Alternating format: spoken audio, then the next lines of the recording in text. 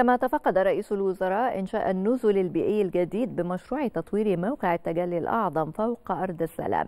كما تفقد رئيس الوزراء موقع إنشاء مركز الزوار الجديد والذي يمثل نقطة استقبال وتوجيه محوري للسائح والزائر من خلال مبنى حديث يشمل كافة الخدمات. واستمع رئيس الوزراء إلى شرح حول المنتجات الشعبية التي تضمها الأسواق التي تشمل الأعشاب والمشغولات اليدوية والفواكه المجففة والخضروات المجففة وكلها منتجات صحية تروى بمياه الأمطار وتنفرد بها المنطقة.